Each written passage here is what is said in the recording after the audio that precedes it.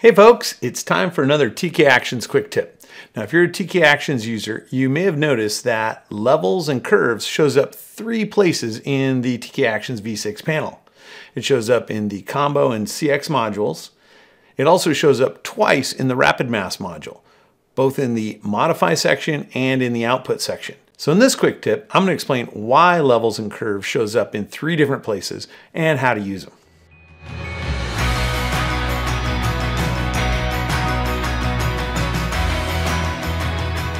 Functions of levels and curves in those three different locations are explained in the written instructions that come with the V6 panel and also in my V6 video guide tutorials, but not all necessarily in one place. So I can understand why it might be confusing to new users why levels and curves shows up in different places throughout the panel.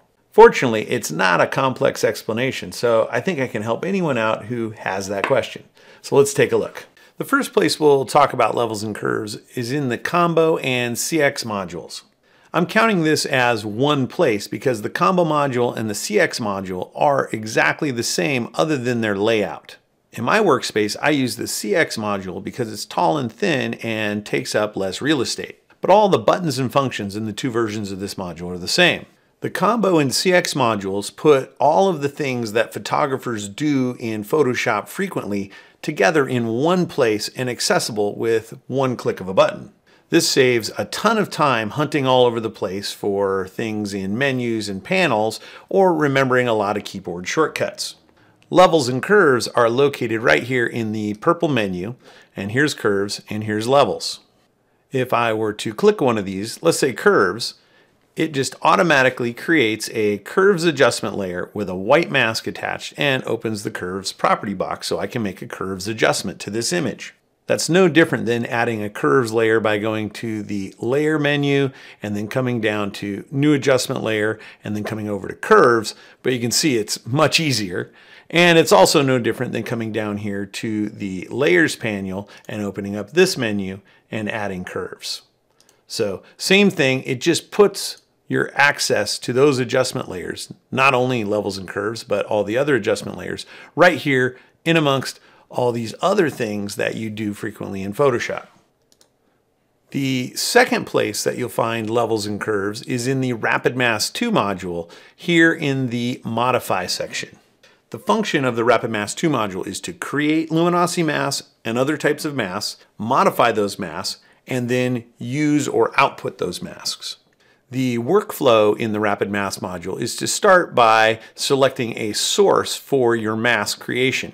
In this case, I'm going to make a composite mask source, which is from the RGB channel.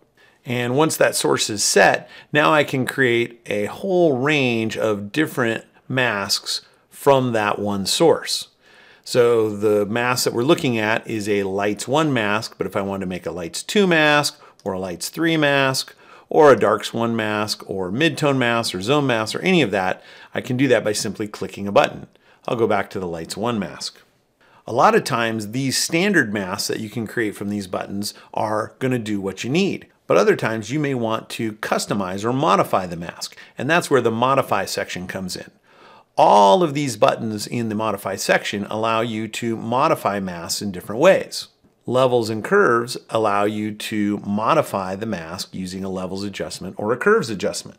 For example, if I modify this mask with a levels adjustment, I could bring up the highlights slider to create more focus on the highlight area. And then I could bring down the mid-tone and the dark sliders to further protect uh, the dark areas of the image.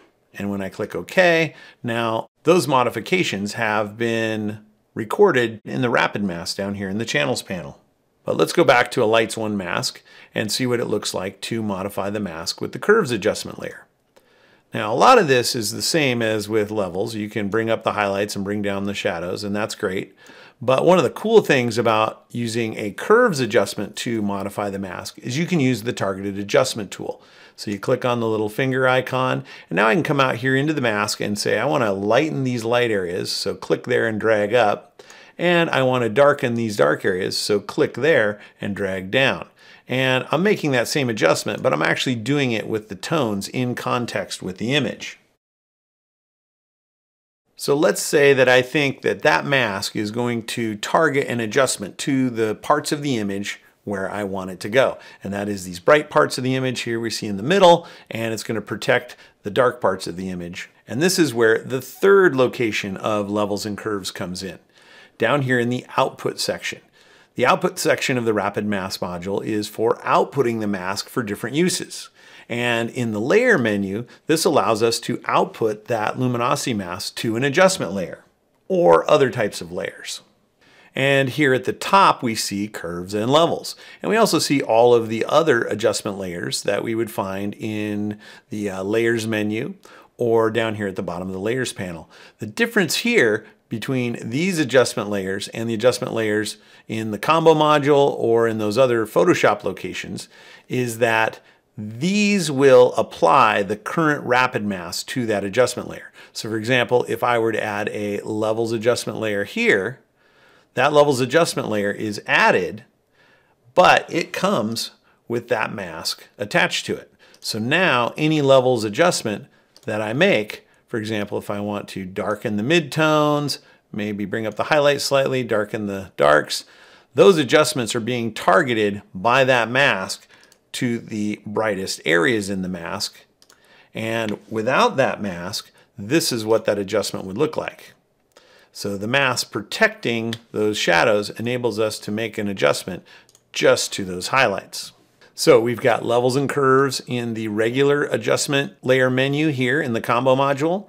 We've got levels and curves for modifying mass in the modify section of the rapid mask module. And we've also got levels and curves here in the layer menu of the output section of the rapid mask module. There's technically one more way to use levels and curves in the TK Actions panel if we've done as I have and already output a mask onto an adjustment layer, but we think we might want to further modify that mask even though it's already been used, we can do that by going into layer mask mode in the Rapid Mask module. And I do that just by checking this checkbox. And now I'm in layer mask mode. And if I come down to the modify section, these buttons will now modify the mask that is attached to the active layer in the layers panel. So I can now further modify this mask that I already modified once, but if I want to modify it some more, I can do it in real time and watch how those modifications are affecting the image.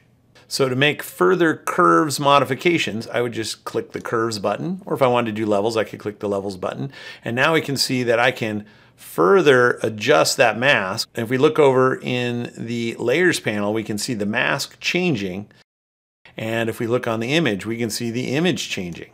And you know, if I really wanted to further target that mask, I can do that in real time. And then I can get out of layer mask mode to go back to the standard mode and see how that adjustment looks.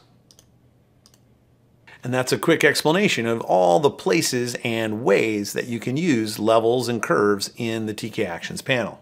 So to recap, levels and curves are adjustments in Photoshop that help you adjust brightness and contrast. They're located three different places in the TK Actions V6 panel because they provide three different functions.